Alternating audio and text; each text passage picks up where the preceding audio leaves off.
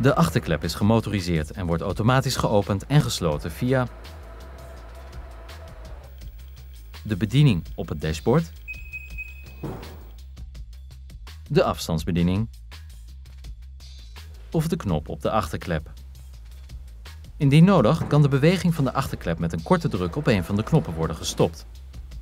Wanneer de achterklep is gestopt, kunt u deze handmatig bewegen of de automatische beweging weer starten door op een van de knoppen te drukken. De maximale hoogte wanneer de achterklep is geopend kan worden aangepast. De achterklep stopt automatisch op de gekozen positie. Zodra de achterklep omhoog staat, kunt u deze handmatig op de gewenste hoogte zetten. U slaat deze stand op door langer dan 3 seconden op de knop op de achterklep te drukken.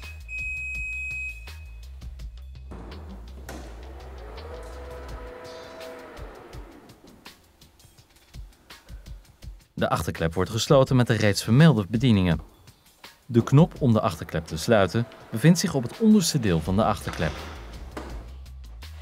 Dankzij de hands-free functie van de achterklep kan deze worden geopend of gesloten wanneer u de handen vol hebt. Deze functie is alleen beschikbaar wanneer de auto stilstaat en de motor is uitgeschakeld, maar niet in standby is gezet met de stop- en startfunctie. Met uw Renault-kaart bij u maakt u met uw voet een ononderbroken beweging van achter naar voor binnen het detectiegebied. Sluiten gebeurt op dezelfde manier. Wanneer een commando om te sluiten wordt gedetecteerd, sluit de achterklep na ongeveer 3 seconden en is er een pieptoon te horen. De bagageruimte is door de dorpelhoogte van 571 mm en een brede opening van 1074 mm gemakkelijk toegankelijk.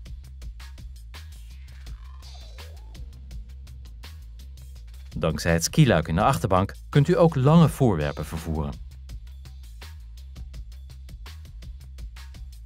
De vaste vloer bestaat uit twee delen en herbergt een opbergruimte met een inhoud van 86 liter.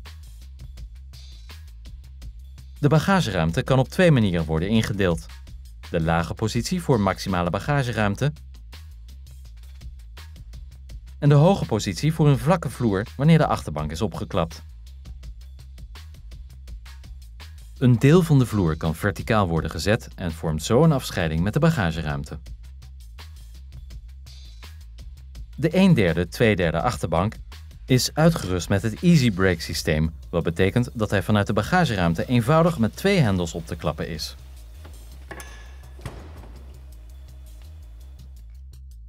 De laadinhoud van 572 liter onder de bagageafdekking wordt vergroot tot 1700 liter wanneer de achterbank wordt opgeklapt en de laadlengte van 1116 mm wordt dan 2010 mm.